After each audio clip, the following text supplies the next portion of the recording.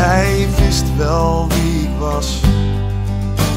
Zwaaiend met mijn jas, mijn armen wijd en leeg. En een hart dat schreeuwend zweeg, dat steeds meer verlangde naar de warmte van.